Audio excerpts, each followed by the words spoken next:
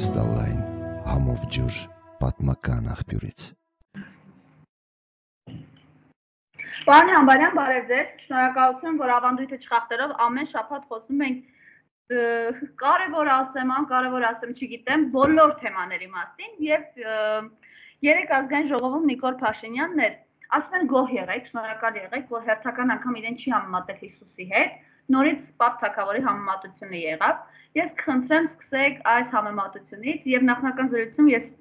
տեղեկացա, որ դուք ոչ միայն այդ հայտարարությանն եք առանձնացրել իր խոսքից, այլ ել ինչ ասես, որ չի ասել։ Խնդրեմ։ Բարև ձեզ, ուրեմն գիտեք, սա մենք ապրում ենք մեր պատմության երևի ամենա խայդարակ շրջաններից մեկը նույնիսկ Մովսես Խորենացու հայոց պատմությունը վերջանում էր ողբով, այսպիսի ողբ չի եղել ինչպես հիմա որովհետև ես չեմ պատկերացնում, որ նույնիսկ միջնադարում կարող է լինել Նիկոլի նման ղեկավար։ Հասկանում եք, սա սա ուղղակի 21-րդ դարում այսպիսի ղեկավար ունենալը ամոթ է, խայդարագություն է, սա մեր ողբն է ու մենք պետք է ասենք, որ մենք 5000 տարվա պատմություն ունեցող ժողովուրդ ենք, հա? Այս մագարտագի, այս հոգեխանգարմունքոյի աստիճանի հասնող այս իրադարձությունները արդեն մարդ պետք է ուղղակիորեն նյարդերը անջադի եւ չգիտեմ, ես էլ չգիտեմ ինչպես մեկնաբանեմ։ Հիմա անցնենք ձեր նշած այդ կերբարին, էլի փորձեց իրեն համեմատել Պապ Թակավորի հետ։ Ուրեմն նշեմ, որ Պապթակավորը ազնվական Արշակունյաց արքայատողմի Արշակ երկրորդի եւ Փարանձեմ Թակու որդին է։ Ճիշտ է, ինքը շատ կարճ է կառավարել, բայց նշեմ, որ Նիկոլ Փաշինյանը իր գեղացի հոր Վովայի եւ գեղացի մոր ուրեմն որդին չի կարող պապթակավոր լինել միայն ցագումնաբանությամբ այդ մեկ։ Երկրորդը Պապ Թագավորը երբեք հող ծախող եւ հող կորցնող չի եղել։ Պապ Թագավորը իր կառավարման այդ կատ ժամանակահատվածում հավաքել է հայկական հողերը մեկ պետության մեջ։ Պապ Թագավորը երբեք պարտված ղեկավար չի եղել եւ հարևան պարտված հարևան Թագավորի ով իրեն պարտության է ենթադրաբար մատնել, այդ Թագավորի ոտքերը չի լիզել, ինչպես անում է Նիկոլա Ալիևի եւ Էրդողանի պարագայում Պապ Թագավորը կոնե իր կարճատև կառավարման ընթացքում կարողացել է ծիրավիճակը դամարտում հաղթանակ տանել։ Պապ Թագավորը բանակ կառուցող է եղել իր կառավարման տարիներին հայկական բանակը հասել է իր մարտունակության գագաթնակետին, բանակի թվականակն էլ հասել է 90-ից մինչև 100.000 զինվոր։ Մինչդեռ մենք տեսում ենք, թե ինչպես է իշխանության գալուց ի վեր Նիկոլը փորձում վարկաբեկել տարբեր մեթոդներով հայկական բանակը եւ չեզոքացնել նրա ուժը մեր տարածաշրջանով այնպես որ այսօր էլ այդ հոգեխանգարված այդ շիզոֆրենիկի աշխատակազմի ղեկավարը ինչը միադարայիկ կա իրեն իրեն էր կրկին մցրել արդեն այսպես իրենց ամբողջ թիմին է ներկայացում որպես պապ թակավոր մենք է ասում հա եւ պապ թակավորի քաղաքականությունը իրենք պետք է շարունակեն ողբամս քեզ հայ ժողովուրդ որ վովայի եւ հոգեբան խնդիրներ ունեցող տարբեր տվյալներով Նիկոլի մոր մասին ասում են, որ ինքը հոգեգան խնդիրներ է ունեցել եւ իր մահկանացում կնքել է հոգեբուժարաններից մեկում, դրա զավակը պետք է լինի ժամանակակից պապ թակավոր։ Նիկոլ Փաշինյանին ես նույնիսկ ասենք Դավաճան 6 Սարգիսի հետ չեմ կարող համեմատել։ Ինքը լավագույն դեպքում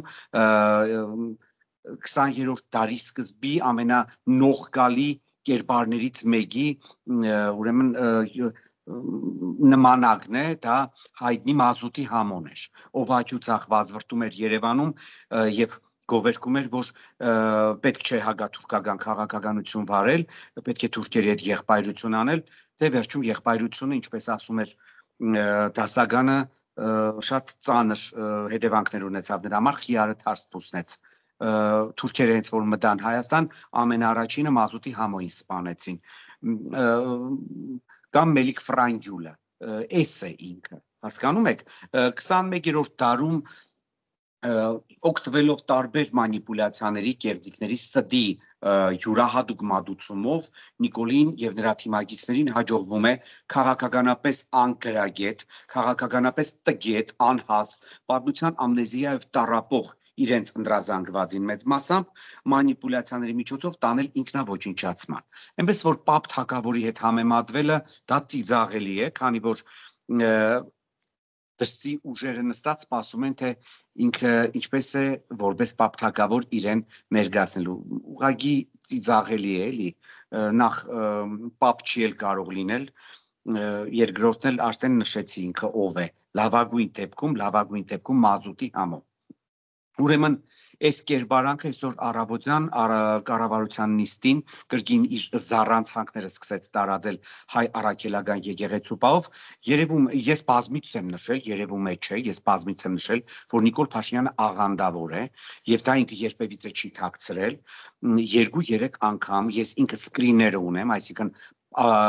ապացույցները կան, թե ինչպես էր այդ անձը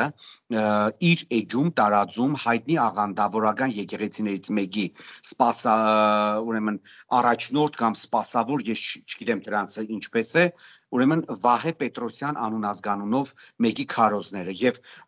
իր 1 միլիոն հետևորդներ ունեցող էջի ուրեմն ժողովրդին այսպես ասած գովազդում էր որ անպայման լսեք եւ նայեք դրանից հետևություն որ Նիկոլ Փաշինյանը բողոքական եկեղեցու հետևորդ է եւ իհարկե նրա համար բացարձակ անընդունելի է հայ առաքելական եկեղեցին եւ իշխանության գալուց ի վեր նաեւ պատահական չէր որ ինքը իր լմգուլազանի միջոցով հագա եկեղեցական իբրև թե հայ առաքելական եկեղեցու հետևորդներ բայց իրականում Նիկոլին սպասարգող եւ ծպտիալ աղանդավորների միջոցով ամենաառաջի հարցակումը գործեց հայ առաքելական եկեղեցու վրա եւ հիմա այդ գործընթացը ավելի լկտի մեթոդներով շարունակվում է այս անznավորությունը այսօր կառավարության նիստի ժամանակ փորձելով վարկաբեկել հայ առաքելական եկեղեցին չհասկանալով թե ինչ բան է արցանագրությունը եւ այլն եւ այլն փորձեց շրիշակի մագարտակի ցածր իջեցնել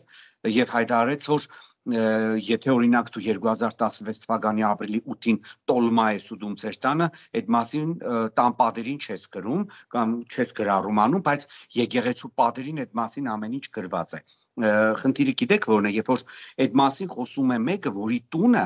ուղագի ուրեմն գոմ էր հիշեցնում դուք հիշում եք այդ հայտնի տեսանյութը, հետո բազմաթիվ լուսանկարներ համացանցում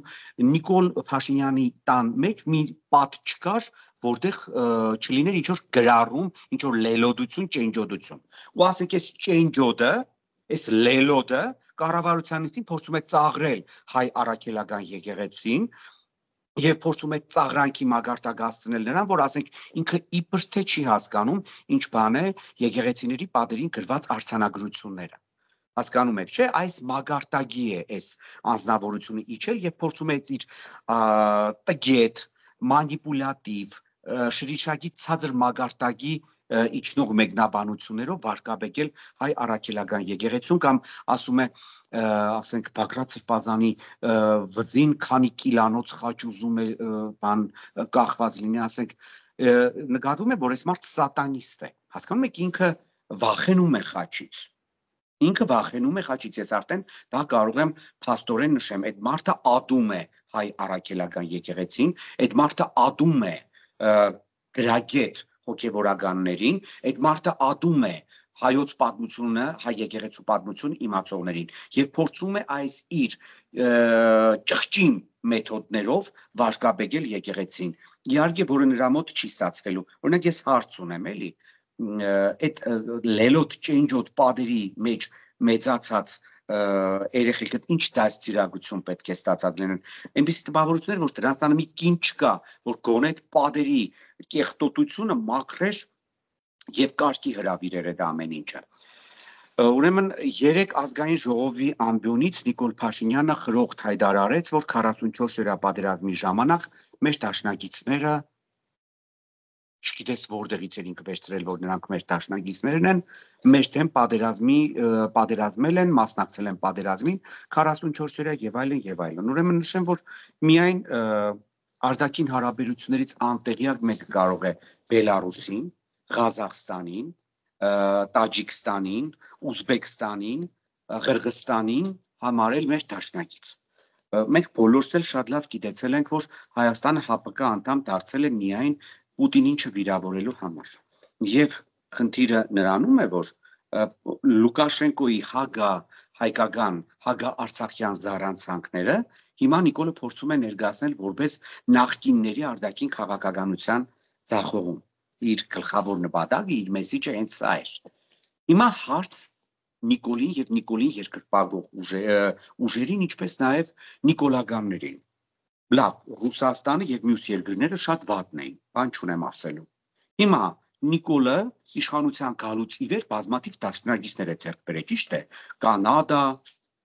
Ամերիկայի Միացյալ Նահանգներ, Ֆրանսիայի նախագահային հետ եւ նախագահի կնոջ հետ տրճկում էին, Կանադայի վարչապետը հայ, հայկական տրոշով գուլբաներ էր հակնում, ելում ասեմ, Վրաստանի հետ էինք մենք շատ մտերմացել, Ուկրաինան էր մեր մտերիմ ընկերը, ընդཐུպ Էնաշյանի, որ այս պատերազմական թողոպոյի ժամանակ Նիկոլիկինը գնում է այնտեղ ինչ որ իմպրովիզա իմպրովիզարած ինչ որ թե ուկրաինացի երեխաների զոհվելու, այս հուշարձան են դրել, այդտեղ ինքը չոկում է իբր շատ տխուր է եւ այլն եւ այլն։ Հիմա հարց. Դրանք պատերազմին ինչով էին զբաղվում։ Ասեմ, ըստ տարբեր լրատվական միջոցներում հրապարակված տվյալների, ադրբեջանական կողմը իսրայելական ֆրանսիական երկու արբանյակներ է օգտագործել, որբիսի բայրակտարները ճշգրիտ հարվածներ հասցնեն Արցախում տեղակայված մեր դիրքերին եւ մեր զինվորականներին։ Կրկնում եմ, սա պաշտոնական տվյալ չէ։ Սա ընդամենը լրատվամիջոցներում հրապարակված տեղեկություն է բայց ինչպես ասում են, առանց կրակ ծուխ չի լինում։ Ուկրաինան այն երկիրն է, որը Նիկոլի սիրելի Ուկրաինան է, կրկնում եմ բազմիցս Նիկոլ Փաշինյանը հայտարարել է, որ ինքը ճանաչում է Ուկրաինայի տարածքային ամբողջականությունը, չգիտես ինչի եւ ինչի համար, բայց այդ նույն Ուկրաինան 44 օրյա պատերազմի ժամանակ ըստ ԱՄՆ սենատի արդակին հարաբերությունների հանձնաժողովի նախագահ Բոբ Մենենդեսի համարվում է Ադրբեջանին ֆոսֆոր մատակարարած երկիրը, որը մեր զինվորների դեմ էր կիրառվում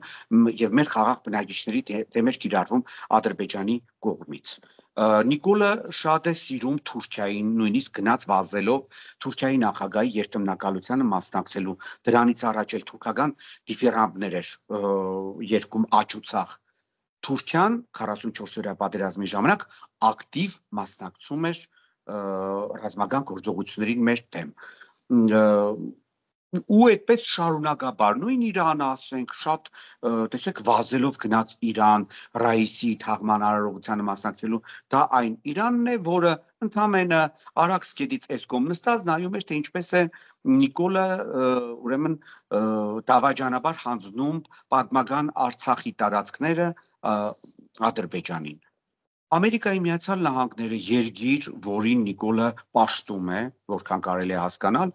երգիր, որը ամեն տարի Ադրբեջանին, որքան ես տեղյակ եմ, 10 միլիոն ամերիկյան դոլարի ռազմական օգնություն է տրամադրում։ Իբր թե Ադրբեջանը շատ քիչ գումարներ ուներ, ասենք տարեկան 4-5 միլիարդ դոլարի զենք է գնում միայն Իսրայելից ու Ռուսաստանից, հիմա ուրեմն ամերիկան էլ իր 10 միլիոն դոլարն է տրամադրում հա մոռացել էի 44 օրյա պատերազմից հետո էլ ֆրանսիայի կառավարությունը գումարը չգիտեմ անկեղծ ասած, բայց չեմ կասկածում, որ մի քանի միլիոն եվրո կլինի, առաջինը հատկացրեց Ադրբեջանին, որբիսի ագանազերծեն Ադրբեջանի կողմից ուշադիր ազատագրված տարածքները։ Դա Ֆրանսիան է արել։ Հիմա հարց, բա 44 օրյա պատերազմի ժամանակ եւ հետո Նիկոլի սիրած երկրները ինչ են այսքան հագահայկական։ Ոչ Բելոռուսը, ոչ Ղազախստանը, ոչ Qırğızstանը, ոչ Տաջիկստանը, ոչ էլ Ուզբեկստանը երբեք չեն ཐակցրել, որ իրենք հագահայկական են։ Ես կրկնում եմ։ Բելորուսիայի նախագահի եւ Ադրբեջանի բռնապետի հարաբերությունները են մագարտագի են, երբ որ ժամանակին ռուս-բելորուսական հարաբերությունները սրվել են եւ Պուտինը պատեպատ էր տալիս Լուկաշենկոին եւ պահանջում էր 300 միլիոն դոլարը գազի դիմաց վճարել, եթե ոչ, ապա գազի մատակարարումը Բելորուս կդադարեցվեր քեշ գումարով Ուկրաինա Բելորուսին օգնել է Ադրբեջանի բռնապետը, հենց այդպես։ Բելորուսը դիմել էր Ադրբեջանին, այսինքն Լուկաշենկոն դիմել էր Ալիևին, Ալիևը քեշ գումար ուղարկել էր Բելորուս, որբիսի Բելորուսը փակի իր պարտքերը Ռուսաստանի Դաշնությանը։ Հիմա որևիցե մեկը բարոյական իրավունք ունի ասելու, որ սա այսպես է, սա այնպես է, այդ նույն Բելորուսի բռնապետի, այդ նույն Բելորուսի բռնապետին Նիկոլ Փաշինյանը դիմավորում էր կառավարության շենքի դիմաց եւ 6 հատ մի թուշը պատճեց, 5 հատ մյուս թուշը պատճեց։ Այդ նույն Բելորուսի ղեկավարը տարբեր միջազգային ֆորումներում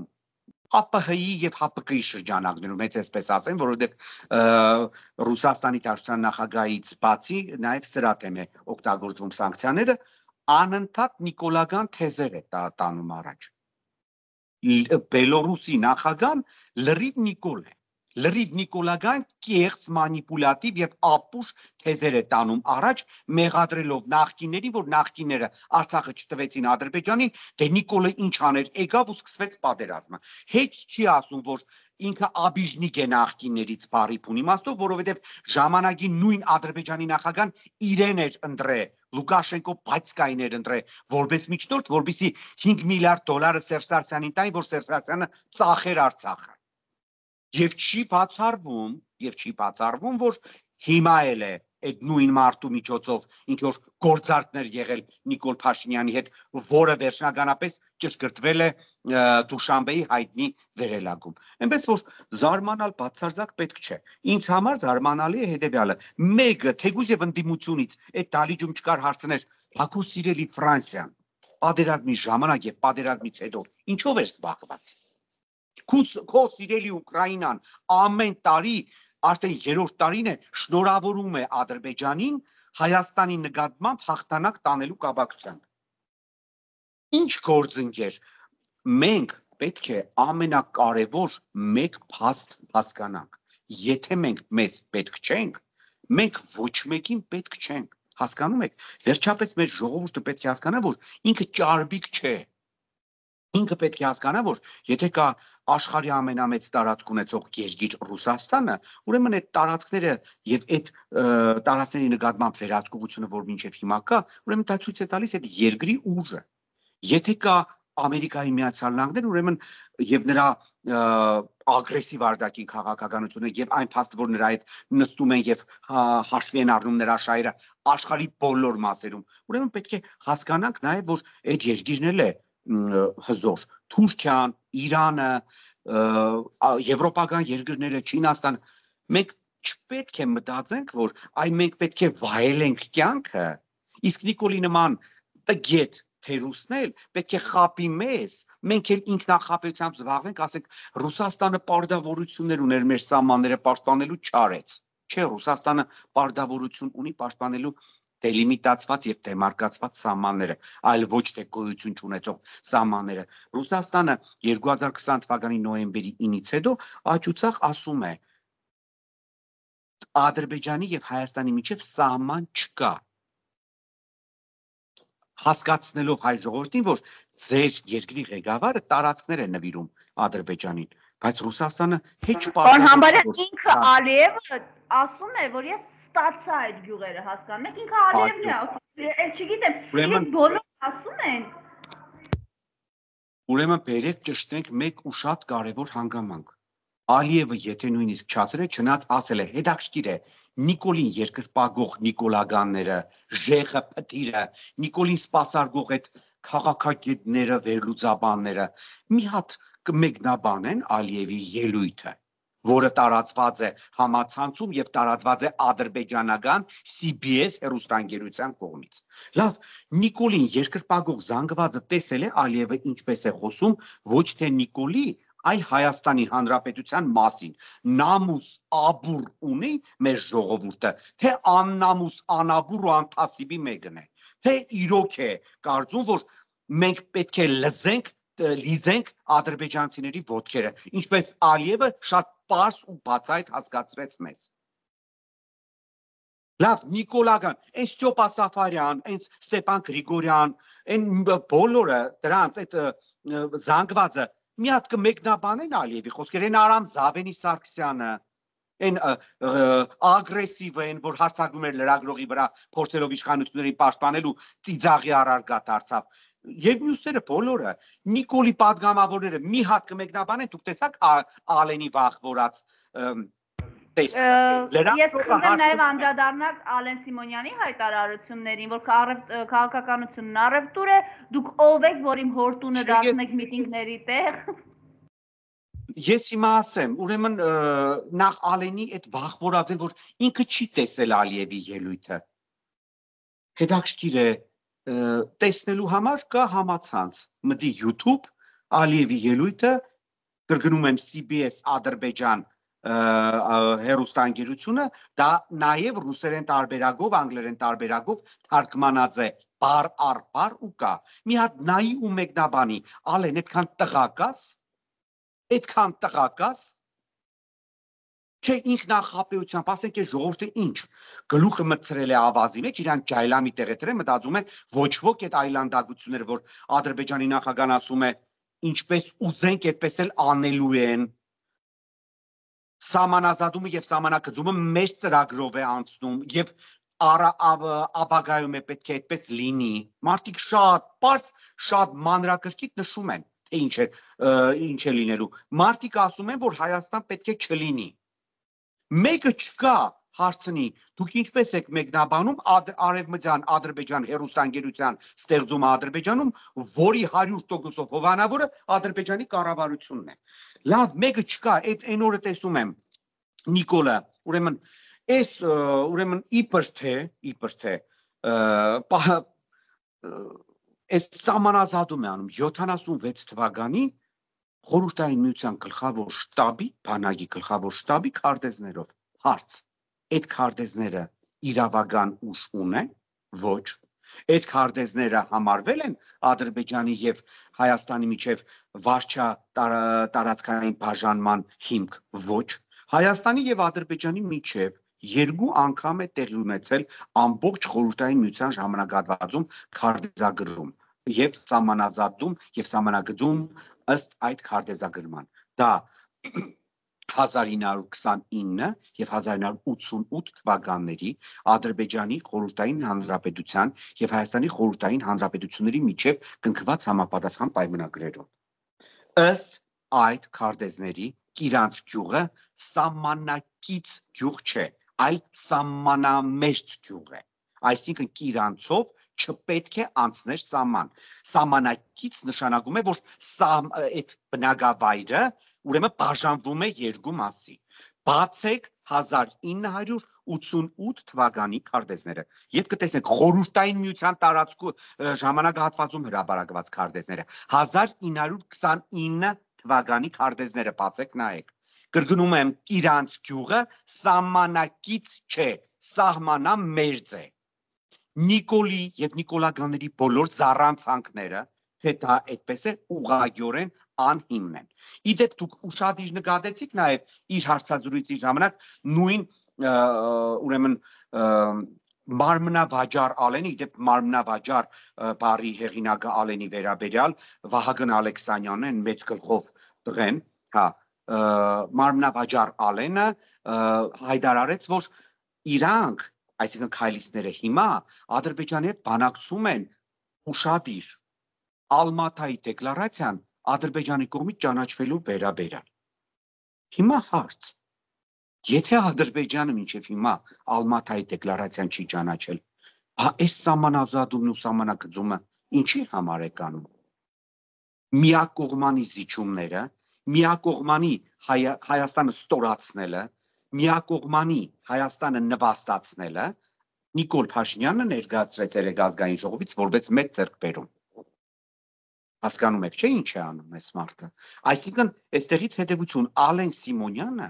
շատ པարզ ասեց, որ Ադրբեջանը չի ճանաչել Ալմաթայի դեկլարացիան։ Ադրբեջանը չի էլ ճանաչելու Ալմաթայի դեկլարացիան։ Ադրբեջանը Հայաստանից ստանալու է Տավուշի մարզում ամեն ինչ, Գեղարքունիքի մարզում ամեն ինչ եւ ոչինչ Հայաստանին հետ չի տալու։ Մեկը չկա այս ընթացքում Նիկոլ Փաշինյանին ասի թե երբ որ դու ես ահռելի տարածքները տալիս ես թուրքերին իրենց հրճագելով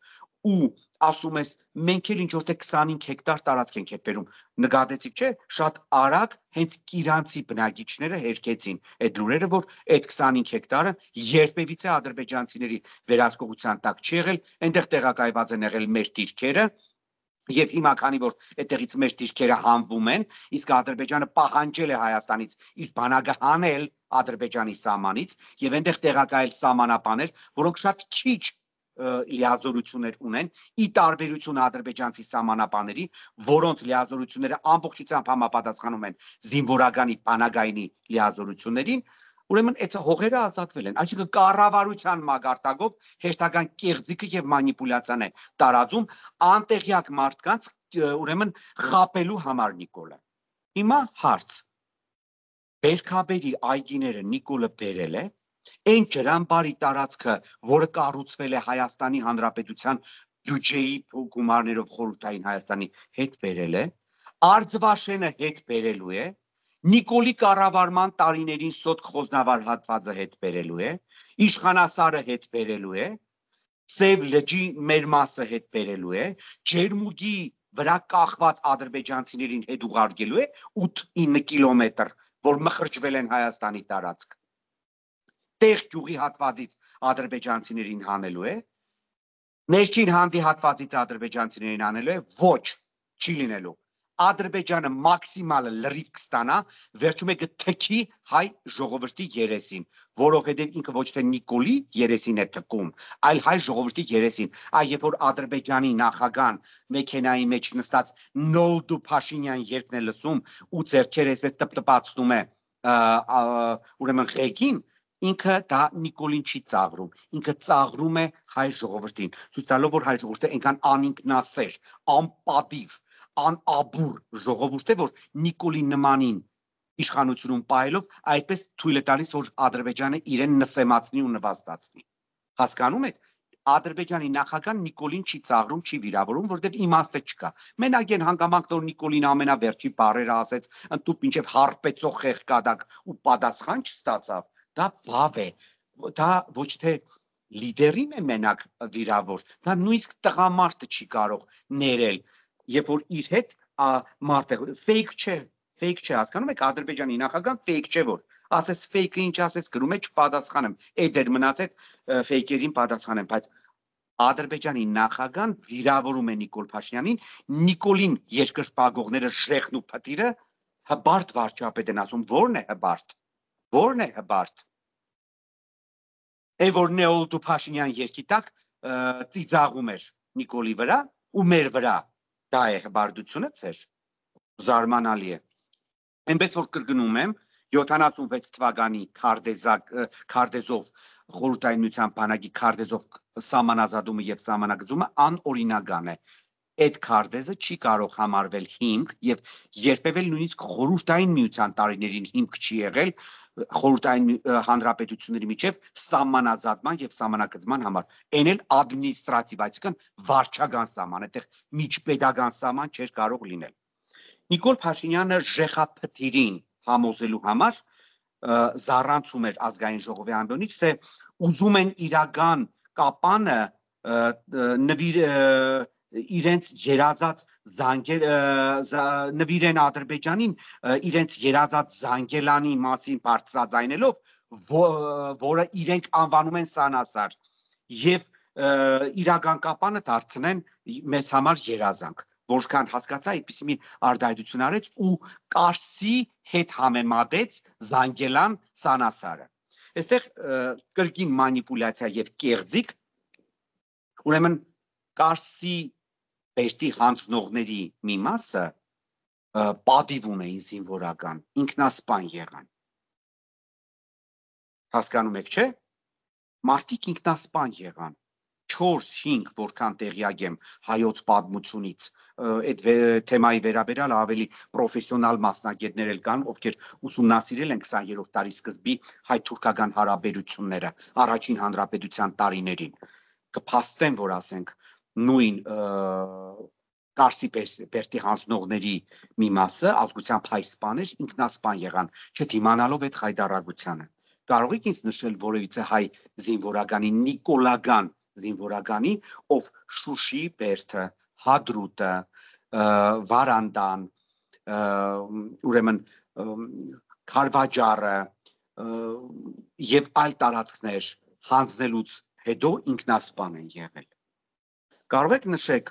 որևիցե մի քաղաքական գործչի, ով Արցախի 75%-ը հետո էլ 100%-ը Թուրքին տալուց հետո ինքնասպան եղավ։ Հասկանում եք Նիկոլագանը դա անպատվության, անարժանապատվության, ցինիզմի, ստախոսության, կեղծիքի, ստորության, ստորակարշության սիմվոլ է պարտվություն, պարտության կապիտուլյանտ կապիտուլյանտի սիմվոլ է։ Ասում ես Նիկոլ կամ Նիկոլագան նույն րոպեին այդ բառերն է քո տեմը գալիս նախ Կարսի կրկնեցի չկրկնվեմ Կարսի Պերտի հանձնողների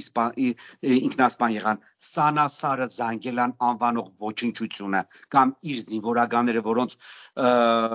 զինվորական կոչում եւ պաշտոններ էր տալիս բերանները փակելու համար որպես կաշառք ինքնասպան եղել են այդ մեկ երկրորդը ինքը մոռանում է որ այդ Սանասարը այդ Զանգելանը հենց ինքն է նվիրել թուրքերին հենց ինքը երրորդ ու ամենակարևորը Մարիամ ջան երբեք երբեք չ զարմանաս որ ընդամենը ամիսներ անց Նիկոլ Փաշինյանը նույն ազգային ժողովի ամբիոնից կանգնի ու ճղճղա ասի ուզում են իրական Երևանը ուրեմն փոխել երազանք հանդիսացող ուրեմն կապան կաֆանի հետ, որը իրենք կապան են անվանում, փորձելով վտանգի տակ դնել նաև իրական Երևանը։ Լավ, Նիկոլը, Նիկոլա Նիկոլը շատ լավ գիտի։ Նիկոլին երկրպագողները տեղյակ են, որ ասենք ադրբեջանցիների համար նույն Երևանը դա Իռևանն է։ Նույն Վանաձորը դա Ղարաքիլիսան է։ Նույն Սպիդակը դա Համամլուն է նույն գորիսը դա գորուսն է, նույն կապանը դա կաֆանն է, նույն արարատը դա դավալուն է, նույն վեդին դա վեդի բասարն է, նույն վարտենիսը դա բասարգեչարն է, դուք ինչքան ուզում եք հայկական պատմական վայրերը անվանեք թուրքական անուններով, միևնույն է, Ադրբեջանը դա չի գնահատում, ավելին, Ադրբեջանը դա դիտարկում է որպես հայերի կողմից ստորակարշություն եւ քծնանք իր նկատմամբ, որի հետևանքները ավելի ծայրահեղ են լինելու հայ ժողովրդի համար։ Ես չեմ հասկանում, այս ժողովուրդը չի մտածում, որ այդ պատմական մեր ոչ վաղեմի անցյալում իրական Սանասարը, որը Նիկոլի պատճառով դարձավ երազանք, Նիկոլը Սանասարը Նիկոլը Ստեփանակերտը, Նիկոլը Մարդակերտը, Մարդունին, Հադրութը, Խարվաճարը, Բեշտձորը, Մեխագավանը, Վարանդան դարձրեց, հենց ինքն է դարձրել երազանք։ Ու հիմա խոսում է իրական Հայաստանից, Ադրբեջանն ասում է, որ իրական Հայաստան չկա եւ իր արտաքին քաղաքական դոկտրինայում Հայաստանը արևմտյան Ադրբեջանի վերածել է։ Հիմա դրա դեն ինչպես եք պայքարում։ Որքան ուզում եք ասեք, մենք ճանաչում ենք այս տարածքը ծերը։ Այդ նույն Նիկոլը, այդ նույն Ալեն Սիմոնյանը չէին, որ ասում էին ոչ մի փողզիչում, ինչ փողզիչման մասին է խոսքը, երբ որ Ադրբեջանը մեզ հետ ռետորաբանություն է տարածում զինվորական ռազմական այդ մեթոդներով Ինչ Հիմա պարոն Համբարյան շատ ներողություն, քանի որ մենք հիմա զրուցում ենք։ Կներեք, ես մի բան հա։ ասեմ, մի բան ասեմ։ Այդ նույն Էդմոն Մարոկյանի ասած անպարոյականի վաստակ ալենը չէր որ 16 թվականին կենտրոն TV-ում էր, որտեղ էր վերընկած ասում էր ով է թույլ տվել Սերժ Սարգսյանին հայկական հողերով, չգիտես ինչ անել։ Այ ոչնչություն։ Այդ ժամանակ գնացել էի թե դրանից հետո գնացել էի ակնա այն խուլիգան Սուրենի հետ են որ իր հրամանատարին տանագահարել էր նուրը ձերքեր ձերքեր դեք վերցրե ֆոտոսեսիա եք լինում թե մեր հայրենի ակնան է բայց հիմա այդ ինչպես ստացվեց որ պարզվեց դա մերը չէր Պարոն Համբարյան հենց հիմա Կիրանցում Հենց հիմա Կիրանցում բնակիչները իրենց գույքը տունը տեղը վառում են, որ ադրբեջանցիներին չթողնեն։ Երեք ազգային ժողովի ամբիոնից Խաչատուր Սուքիասյանը ասում է՝ «Չափները ճանաչեք, մենք հայրենիք ենք պահում, մենք հայրենիք ենք շենացնում, չեմ թողնելու, որպեսզի իմ երեխաների, իմ թոռների հայրենիքը կործան»։ Դե Խաչատուր Սուքիասյանը նորվա ստորագույն նորվա ստորագույն արարածը չէ։ Խաչատուր Սուքիասյանը բոլոր իշխանությունների օրոք իրեն շատ լավ է զգացել եւ դա թե Ռոբերտ Քոչարյանի եւ թե Սերժ Սարգսյանի ամենամեծ սխալն էր։ Իրանք հիմա ըմբոշխնում են Խաչատուր Սուքիասյանին չպատժելու ամբողջ այդ հետևանքները։ Խաչատուր Սուքիասյանի դեմ դա գլխավոր դատախազությունը պետք է քրեական գործ հարուցի սպառնալիքներ հնչեցնելու համար։ Ինչի մասին է խոսքը էս է այո իրանց դուք մտածում եք իրանցում հայերը ապրելու են բացառվում է ադրբեջանցիները ամեն ինչ անելու են իրանցը ոսկեպարը բերքաբերը դադարգելու համար, որովհետև դա լինելու է պլացդարմ Լոռու մարզի եւ Սևանի Դիլիջանի վրա հարցակվելու համար։ Վերջ։ Սա է ծրագիրը։ Սա է ծրագիրը միակողմանի զիջումներով թուրքերին հայկական հողերի նվիրատվությամբ բանակը կազմալուծելով սահմանապաներ այդտեղ տեղադրելով թուրքական դիվիրանտներ երկելով դու երբեք խաղաղություն չես բերի դուք գիտեցեք վաղը մյուսօր Երևանցիներն են իրենց տները այրելու ու փախնելու որովհետև էլի եմ կրկնում ինքը արդեն կապանի անունը տվել է հաջորդը կապանն է լինելու դուք կտեսնեք հաջորդը կապանն է լինելու թուրքեր դուք նայում եք թուրքական հերոստանգերությունները, կապանցիները նայում են թուրքական հերոստանգերությունները։ Իրանք գիտեն, որ նույնիսկ իրենց գնալը արդակնոց կամ լոգարան ընդունելը ամբողջությամբ ֆիքսվում է ադրբեջանցիների կողմից։ Իրանք տեսել են ադրբեջանական հերոստանգերությունների ռեպորտաժները կապանի դիրքերից, ինչպես ասում են հենց ադրբեջանցի լրագրողները եւ զինվորականները այդ ադրբեջանցի ասկյարները որ կանգնած են իրենց հետնամասում կապանի ամբողջ պանորաման է ամբողջ քաղաքը ապիտ մեջ երևում է ու նիկոլն ասում է տեսեք հանգիստ ապրում են հանգիստ չեն ապրելու որովհետև ադրբեջանցին հիմա բան ունի ստանալու այլ տեղերում ստանում է իսկ ադրբեջանի ծրագիրը հետևյալն է. Հայաստանի Հանրապետությունը 10000 քառակուսի կիլոմետրից շատ պետք է չլինի դա լավագույն դեպքում իսկ նրանց իրական վերջնական պլան մաքսիմումը. Հայաստանը դա արևմտյան Ադրբեջանը եւ վերջ։ Ու այդ ծրագիրը իրենք իրականացում են Նիկոլի ցերքերով։ Նիկոլի ցերանտ։ Նիկոլի ցերանտ են իրենք այդ ամեն ինչը ուրեմն իրականացնում։ Իրանցը բնակավայր չի մնալու ոչ մի իրեն հարգող հայ թուրքի կողքը չի ապրի իրանք խափում են մարդկանց, որ փոխհատուցում են տալու, իրանք տներ են կառուցելու, չկա նման բան չկա նման բան ինչպես շուրնուխում 3.5 տարի է տներ են կառուցում այդպես էլ Կիրանցում կկառուցեն եւ դա պատահական չէ դուք մտածում եք փող չունեն փող ունեն թուրքերը տալիս են բայց թուրքերն ասում են չփորձես հայերիդ համար սամաներին տուն կառուցես որտեվ այդ հողերը մենք վերցնելու ենք ձեր հայերից հենց այդպես անցանք առաջ Նիկոլը խոսում է ինքնիշխանությունից եւ իրական Հայաստանից։ Հետաքրքիր է։ Բերեք մենք ճիշտը վերլուծենք։ Այս տարածաշրջանում Հայաստանը բազմից է աբացուցվել, որ չի կարող միայնակ ապրել։ Լևոն Տեր-Պետրոսյանը ինքը, որը ով ռուսներին դուրս արեց Հայաստանից իր հագարուսական հռետորաբանությամբ, հետո 95 թվականին ռուսների խնդրեց, որ բերեն եւ բացեն 100-րդ ռազմապազան հենց Լևոն Տեր-Պետրոսյանը, որովհետև Լևոն Տեր-Պետրոսյանը ավելի տեղյակ էր եւ շատ լավ գիտեր, որ Արցախյան ուրեմն առաջին պատերազմի ժամանակ երկու անգամ Թուրքիան փորձել է հարցակվել Հայաստանի Հանրապետության վրա։ Մեկի մասին այդ բարձրաձայնել են հույն դիվանագետների դեմս Խրիզանտոպուլոսի, որքան հիշում եմ, Հայաստանում Հունաստանի առաջին տեսփանի, որը իր հուշերում այդ մասին գրել էր, երկրորդի մասին էլ մի տարի ու կես երկու տարի առաջ ինչ որ գաղտնազերծված փաստաթղթերի իման վրա այդ տեղեկությունը հրաբարակվեց շվեդական մամուլում։ Հիմա այս տարածաշրջանում པարզ նշում եմ մենք ունենք երկու ճանապարհ։ Մեկը Ռուսաստանի հետ լավ հարաբերություններ ունենալը, մյուսը պարգել թուրք-ադրբեջանական տանդեմի տակ, որովհետև արևմուտքը այս տարածաշրջանը ազատում է Թուրքիայի համար։ Արևմուտքը երբեք չի ասում դուք դուրս բերեք ձեր զորքերը, ռուսական զորքերը Հայաստանից, մենք կգանք նրանց կփոխարինենք։ Կա այդպիսի բան։ Ֆրանսիան, Գերմանիան, այն Անգլիան Ռիչարդ Մուրի հետ 6 տարվա մեջ երկու անգամ հանդիպում դասերն է ստանում, հանձնարարականներն է ստանում։ Ամերիկայի Միացյալ Նահանգները ասում են այդպիսի բան, չեն ասում, որտեղ մարդիկ անկեղծ են։ Որբիսի վաղեմիսօրը հայ ժողովուրդը իրեն բնորոշ ոճով չասի, դուք մեզ խոստացաք ու չարեցիք։ Հասկանում եք, չէ՞։ Հիմա Նիկոլը ինքնիշխանության, իրական Հայաստանի մասին զառանցելով Հայաստանը տանում է մտցնում է թուրք-ադրբեջանական տանդեմի տակ։ Հենց այդպես։ Հիմա անցնենք Ալեն Սիմոնյանին, այն որ նրան հիշեցրեցին ուրեմն թե ինչ արդահայտություններ է անում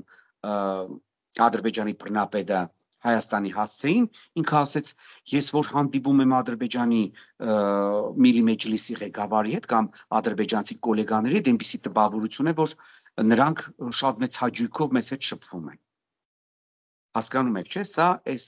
տգետը, այս թերուսը, այս միջազգային հարաբերություններից եւ ընդհանրապես թուրքական դիվանագիտության մութ եւ բաց կողմերը չիմացող այս ես չգիտեմ սա ինչ է, ուրեմն այդ ձևաչափով է փորձում մեկնաբանել Ադրբեջանի եւ Թուրքիայի հետ հարաբերությունները, հասկանում եք։ Թուրքիան պատահական չեմ ասում, որովհետեւ Ադրբեջանը առանց ուրեմն Թուրքիայի հետ բանակցելու մի քայլ Հայաստանի հետ չի անում։ Նույնն էլ Թուրքիան։ Էդ էլ ասեմ։ Ուրեմն հայտարարեց, որ եկեղեցին պետք է հարգվի։ Դուք հասկանում եք, չէ՞, այս տգետը։ Ու սա ազգային ժողովի նախագահ է Այս տգետը տեղյակ չէ մինչև հիմա, որ հայ առաքելական եկեղեցին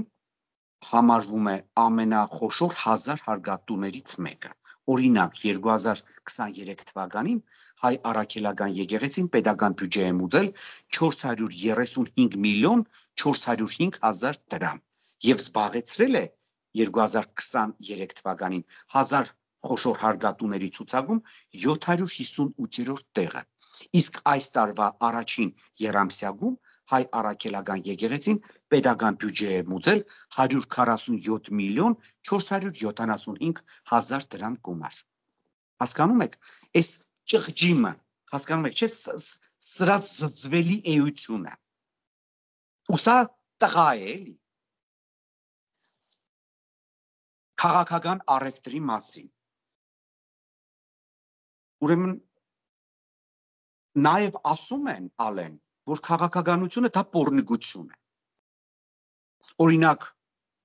ըստ Վահագն Ալեքսանյանի եւ ըստ Էդմոն Մարուկյանի դու հենց դրանցից ես։ Եվ այո, ես արդեն հավատում եմ, որ քաղաքականությունը դառնում է պորնիկություն, որովհետև քաղաքականությամբ զբաղվում են ըստ Վահագն Ալեքսանյանի եւ Էդմոն Մարուկյանի Նիկոլի Ալեն Սիմոնյանի նմանները։ Մեկը Ալենին ասում էր մարմնավաճառ, մյուսն ասում էր անբարոյականի վաստակ։ Դրա համար այդ մարմնավաճառ անբարոյականի վաստակները, երբ որ զբաղվում են քաղաքականությամբ, քաղաքականությունը իրոք համարվում է պորնոգություն։ Դե Բակրատ Սրբազանը առևտրի մասին շատ լավ ասեց։ Այո, դուք եկաք իշխանության եւ քաղաքականությունը համարելով ուրեմն առևտրուշ ծախեցիք Արցախը եւ շարունակում եք ծախել ուրեմն Հայաստանի Հանրապետությունը։ Իդեպ ծախելու վերաբերալ ասեմ, որ շատ հետաքրքիր ասեկոսեներ են տարածվում Գյումրիում։ Ըստ այդ ասեկոսեների Սերժ Սարգսյանը բարձվում է շատ լավ տեղեկություններ է հավաքում, թե Նիկոլ Փաշինյանը որքան գումար է շորթում Թուրքիայից, Ադրբեջանից եւ այլ պետություններից Հայաստանի շահերը ոտնահարելու եւ Հայաստանի ծախելու համար։ Եվ ըստ տարբեր տվյալների այդ գումարը արդեն հասել է 8 միլիարդ ամերիկյան դոլարի։ Ասում են ՀՀԿ-ականները այդ մասին լավ գիտեն։ Հուսանք Սերժ Սարգսյանը շատ չի ուշացնի եւ կպարզաբանեն ՀՀԿ-ից, թե որտեղ է պահում Նիկոլ Փաշինյանը այդ գումարները։ Ուրեմն անդրադառնամ այն Գուգո Գագոկա, չէ՞, դրանք մի հատ գեներալ ունեն, դա եւս նախկինների կոպտագույն սխալներից մեկն էր, որ STB մարտը այս ինտելեկտուալ մագարտակի մարտը ստացել է գեներալի կոչում, երկար տարիներ զբաղեցրել է Թիգունկի պետի պաշտոնը, որի արդյունքում են Վահագն Ալեքսանյանը անտրուսիկ ու անմայկայր ծառայել, որի հետևանքները մենք հիմա տեսնում ենք մեր վրա։ Ուրեմն այս տգեդը, այս եսի մինչը, ուրեմն հայտարար հարցազրույց է տալիս հերոստանգերություններից մեկին ու հայտարարում է, որ փաստացի այդպես է գալիս, որ Արցախում էթնիկ զդումների թիվ 1 պատճառը դա Արցախի նախկին ղեկավարությունն է։ Ասենք քաղաքագիտությունից, քաղաքականությունից, արտաքին քաղաքականությունից տարական հասկացող մարդը շատ լավ գիտի, որ չի կարող 10 օր երկիրը ղեկավարած մարդը կամ ինչ որ քաղաքական թիմ դառնալ Արցախի կորձանման պատճառ կամ ինչպես կարող է ասենք նորմալ մարդ մտածել, որ ասենք 10 օրվա մեջ Ադրբեջանը կազմակերպեց Արցախի ամբողջական հայաթափում եւ էթնիկ զտում։ Նիկոլ Փաշինյանից հետո այս Գուգո Գագոն երկրորդ մարդն է քայլիստների հիերարխիայում բարձրագույն, ով զառանցանքներ է տարածում, որ Ադրբեջանի կողմից Արցախում իրականացված ուրեմն գործողությունները էթնիկ զդում չէին, իսկ եթե էթնիկ զդում էին, ապա դրանում մեղավոր են հայերը, թեգուզ եւ Արցախի նախկին ղեկավարները։ Ասենք գեներալ Մարտը կարող է հայտարարել, որ 4 գյուղերի համար խոմենք պատերազմ չենք հայտարարելու։ Հիշում եք նույնը ասում էր իշխանասարի վերաբերյալ Նիկոլը։ Հիշում եք նույնը Գերմուգի համար էին ասում։ Ամայի տարածքներ են, դա մեզ պետք չէ այս Արարածը նաև հայտարարեց, որ 300.000 մարդ եթե դուրս գա փողոց Նիկոլ հրաժարական կտա։ Ուրեմն եթե ամբողջ Հայաստանի Հանրապետությունը եւ հայկական սպյուրքն էլ դուրս գա փողոց, Նիկոլը հանգիստ հրաժարական երբեք չի տա, որովհետեւ ասել եմ ու կրկնում եմ, Նիկոլը ինքը հանցագործ է։ Իսկ հանցագործությունի իսկ իր գործած հանցագործության համար չպատժվելու համար ինքը ունի երկու ճանապարհ։ Կամ ինքը մնում է ղեկավար, այդ մեկ կամ ինքը վերացնում է այն սուբյեկտը, որի նկատմամբ գործել է հանցագործություն։ Իսկ այդ սուբյեկտը Հայաստանի Հանրապետությունն ինքը իրեն այդ վիճակի մեջ է գցել կամ ինքը մնում է վարչապետ ու շարունակում է իր հայակորձան քաղաքականությունը, որի վերջնարցուկը կրկին երկրորդն է։ Այսինքն Հայաստանի Հանրապետության կորձանումն է։ Կամ ինքը կկորձանի Հայաստանի Հանրապետությունը եւ ուրեմն կը հերենա Հայաստանից հանգիստ կտեղափոխվի Կանադա, ինչպես ասում են ասեկոսիստներ, այսպես ասած, Կանադայում ահրելի կապիտալ է կուտակել ինքը իր համար, տներ է գնել եւ ուրեմն կարող է ինքը այդպես ուրեմն գնալ եւ հանգիստ շարունակել իր կյանքը դրսում։ Է մեկ էլ այդ մեծ գլխով Վահագն Ալեքսանյանի հայտարարությանն եմ ուզում անդրադառնամ, ուրեմն ասում է մի ռուսա ռուսական ռոպագանդիստ ասել է որ Բակրատ Սրբազանը իրենց ուրեմն վարչապետի տեխնազուն է հիմա ուզում են ասեն որ ինքը անկախ մարդ է այստեղից հիմա հարց Վահագն Ալեքսանյանին Ադրբեջանում եւ Թուրքիայում ուղղակիորեն աղոթում են Նիկոլ Փաշինյանի համար։ Ադրբեջանական եւ թուրքական լրատվամիջոցները քաղաքական էլիտան, վերլուծաբանական մերձիշխանական վերլուծաբանական էլիտան նույնիսկ խոսում են մասին, որ եթե հանգարց Նիկոլի իշխանությանը սպառնալիքներ լինեն, ապա իրենք պատրաստ են զորք ուղարկել Հայաստան Նիկոլի իշխանությունը պահպանելու համար։ Եթե Վահագն Ալեքսանյան կոչված այդ մեծ գլխով տղու տրամաբանությամբ առաջնորդվենք, ապա կստացվի, որ եթե Բաքրատ Սրբազանը ռուսական պրոյեկտ է, ապա դուք ձեր թիմով Նիկոլի գլխավորությամբ թուրք ադրբեջանական պրոյեկտ եք։ Սխալ եմ ասում։ Եթե նույն տրամաբանությամբ եք առաջնորդվում։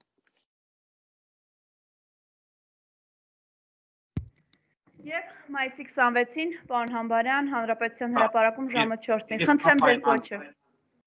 Ես անպայման լինելու եմ մայիսի 26-ին ժամը 16:00-ին հանրապետության հրապարակում կոչ եմ անում բոլոր հայերին, կրկնում եմ, բոլոր հայերին, ովքեր անտարբեր չեն իրենց երկրի եւ իրենց հայրենիքի ապագայի պահով շատ լավ հասկանում են, որ Նիկոլը տանում է Հայաստանը վերջնական կորձանման, գեղեցիկ լոզունգների, գեղեցիկ փաթեթավորման ներքո մենք գնում ենք ինքնավոչնչացման, մենք բոլորս պետք է լինենք մայիսի 26-ին ժամը 16:00-ին հանրապետության հրապարակում։ Բոլորին կոչ եմ անում, բոլոր հայերին, կրկնում եմ։ Բոլորին կոչ եմ անում գալ հանրապետության հրապարակ։ Եվ սա մեր վերջին շանսն է ենթադրաբար փրկելու Հայաստանի Հանրապետությունը մոդալուտ կորձանումից, որին մեզ ավելի մեծ քայլերով մոտեցնում է Նիկոլ Փաշինյան անուն ազգանունով Երգոդանի։ Շնորհակալություն, պարոն Համբարյան։ Խնդրեմ։